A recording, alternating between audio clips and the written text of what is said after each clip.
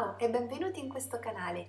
Vediamo insieme come fare una torta stragolosa, ossia la torta al cocco e cioccolato. Iniziamo con il preparare uno stampo, uno stampo da 24 o 26 cm. Lo ungiamo e lo infariniamo.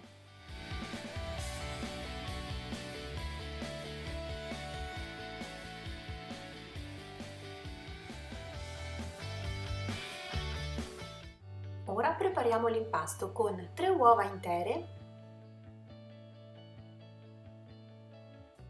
un vasetto di yogurt al cocco e utilizzeremo il vasetto come misurino.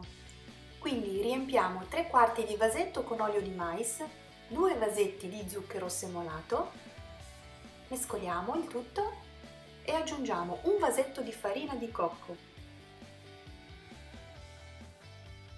un vasetto di fecola,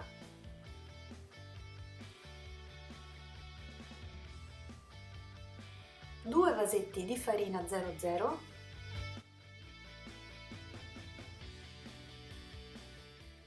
mescolate sempre bene tra un ingrediente e l'altro,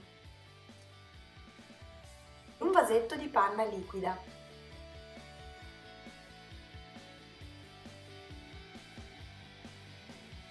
cucchiaini di cacao amaro,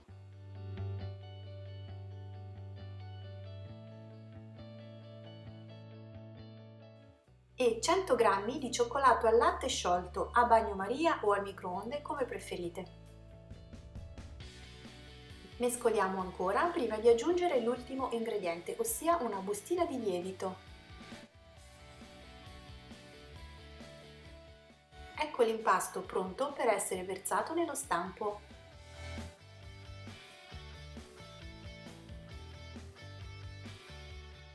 E cuociamo in forno statico già caldo a 180 gradi per 40 minuti.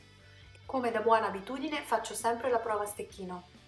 A cottura ultimata lasciamo il dolce per altri 10 minuti in forno spento e con lo sportello socchiuso. Dopodiché lo metteremo su una gratella e lo faremo raffreddare completamente. A questo punto possiamo sformarlo e metterlo su un piatto da portata.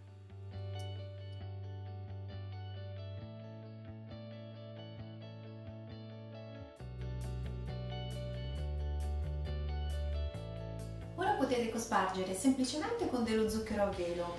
Se volete una tortina per tutti i giorni, per la colazione, per la merenda, se invece volete fare qualcosa di più carino da servire a fine pasto o da presentare agli amici, potete ricoprirla con della panna e della Nutella. Vi faccio vedere come.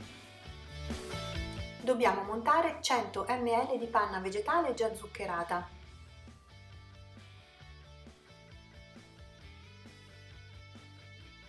La distribuiamo sulla superficie della torta e la stendiamo, senza preoccuparci di dover fare una cosa troppo precisa. Poi andremo ad aggiungere della crema alla nocciola e faremo un effetto variegato.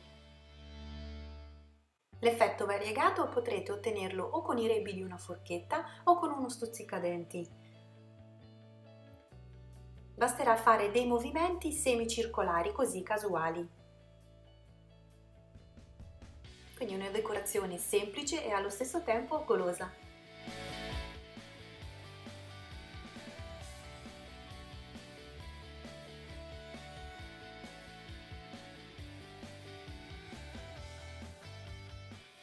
Conservate la torta in frigo in un contenitore portatorta e si manterrà buona per diversi giorni, poiché è una torta umida. Poi, buon appetito!